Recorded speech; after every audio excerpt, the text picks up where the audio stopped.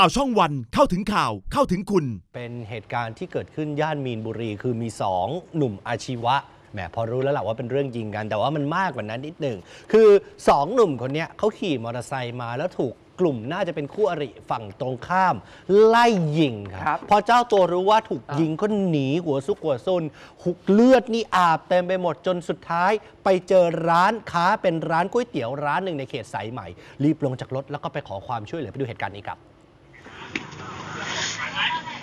ยืด ขาไปยืดขาไปเดี๋ยวเอาก่อนนะ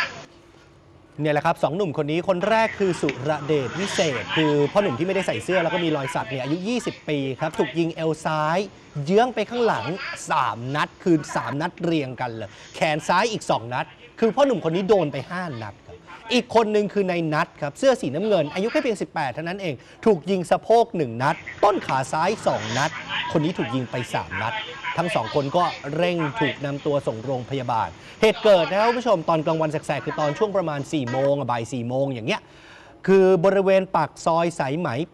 83ทางในพื้นที่ของเขตสายไหมนะทางเจ้าหน้าที่ตำรวจก็ได้รับแจ้ง แล้วก็ไปตรวจสอบรายละเอียดต่างๆ นานา ซึ่งตัวของผู้บาดเจ็บก็เล่าให้ฟังว่าเขาเนี่ยขี่มอเตอร์ไซค์อยู่แล้วเริ่มถูกไล่ยิง มาจากฝั่งถนนฮัทไทยราชครับเขาก็ตกใจกลัวกลัวตายก็ขี่หนีตายมาเรื่อยๆเรื่อยๆมุ่งหน้าจนมาถึงในพื้นที่สายไหม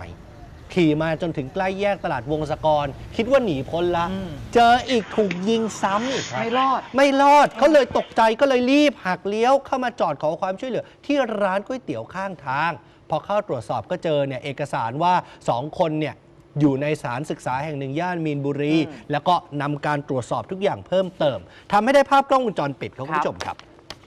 กล้องวงจรปิดเนี่ย สามารถจับภาพมอเตอร์ไซค์คนร้ายได้ ตอนนี่จะเห็นเนี่ยผู้ก่อเหตุคนร้ายเนี่ยขี่มา 2 คนใช่ไหมครับแล้วก็ครับจังหวะนี้นะเออมาทั้งหมดคุณผู้ชม 3 คนด้วยกัน ฮะ นี่นี่นี่นี่นี่ผู้ก่อเหตุทั้งหมด 3 คนเห็นไหมแล้วก็ซ้อนกันมา ขี่รถมาตามถนนไทยราช มุ่งหน้าตลาดเออวงการสายไหม พอมาถึงบริเวณหน้าศูนย์รถยนต์แห่งหนึ่ง คนร้ายก็จอดรถข้างทาง คนที่นั่งอยู่หลังสุด ลงมาจากรถ ควักปืนที่อยู่ที่เอวแล้วก็ออกมายิงใส่รถมอเตอร์ไซค์คู่อริเลยครับพอก่อเหตุเสร็จปุ๊บคนร้ายก็วนรถกลับไปทางเดิม ก็ส่งผลให้น้องสองคนเขาก็โดนยิงบาดเจ็บหนักเนี่ยแหละ ซึ่งทางเจ้าหน้าที่ตำรวจก็บอกนะครับว่า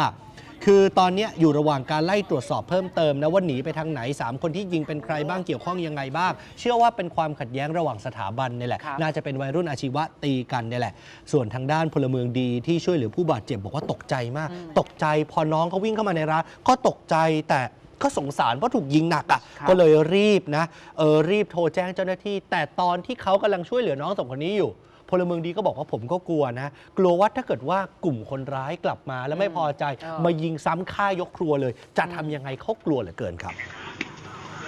น้องเขาบาดเจ็บมาเอ่อน้องๆที่เขาทานก๋วยเตี๋ยวอยู่ก็รีบมาช่วยกันดูอะค่ะ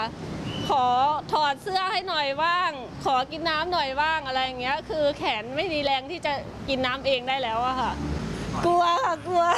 คือไม่กล้าที่จะอยู่ตรงหน้าเรือแล้วไปอยู่ข้างข้างหลังกันหมดอะค่ะตอนนี้เธอก็เลยอยากฝากให้ทางเจ้าหน้าที่ครับช่วยจับกลุ่มให้ได้โดยเร็วและกันเพราะเกรงกลัวไงว่าเธอเนี่ครัยบไปช่วยเหลือผู้เจ็บ แต่ถ้าเกิดเธอไม่ช่วยก็ไม่ได้ไงใช่เออใช่นะ สวัสดีครับ ผมจัดทีมะ อย่าลืมกดไลค์ กดแชร์ กด subscribe YouTube ข่าวช่องวัน จะได้ไม่พลาดทันข่าวทันทุกเหตุการณ์ เปิดเผยทุกความจริง